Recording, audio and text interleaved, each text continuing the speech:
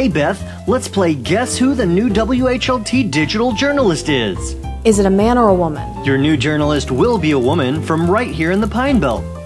Does she wear glasses?